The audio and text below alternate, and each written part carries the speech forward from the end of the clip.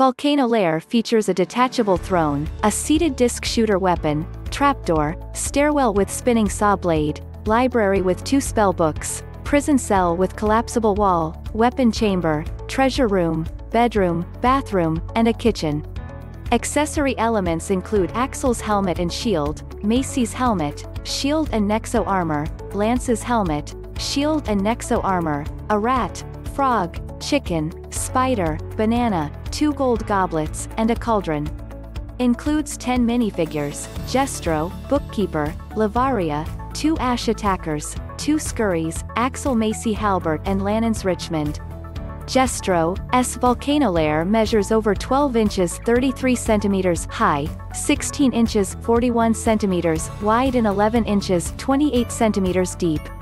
Macy's Mace Slammer measures over 4 inches 12 centimeters high, 6 inches 17 centimeters long and 4 inches 12 centimeters wide. Axl's Hoverhorse measures over 1 inch 4 centimeters high, 3 inches 9 centimeters long and 1 inch 5 centimeters wide. Volcano Lair features a detachable throne, a seated disc shooter weapon, trapdoor, stairwell with spinning saw blade, library with two spellbooks, prison cell with collapsible wall, weapon chamber, treasure room, bedroom, bathroom, and a kitchen.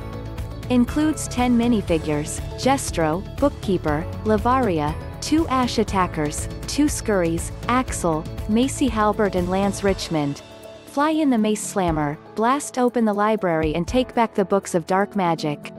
Send Axl in on his hover horse, but watch out for the trapdoor with spinning lava mouth, and evade the flying goblins. Take Jestro and his army by surprise as he relaxes in the living quarters, and stop him escaping on his detachable throne. Includes scannable shields for 6 Nexo powers, flash cannon, fire tornado, wall block, banana bomb, jungle dragon and whirlwind. Review, I cannot recommend this set highly enough. A massive and sturdy playset, easily measuring a foot or more in both height and length when fully assembled. Beautifully designed, with black, crimson and transparent orange bricks giving the set the appearance of an animated volcano brought to life. Many really fun features as well, including the spinning lava beast at the castle's base, a collapsing walkway and breakaway prison and library walls add an awesome touch.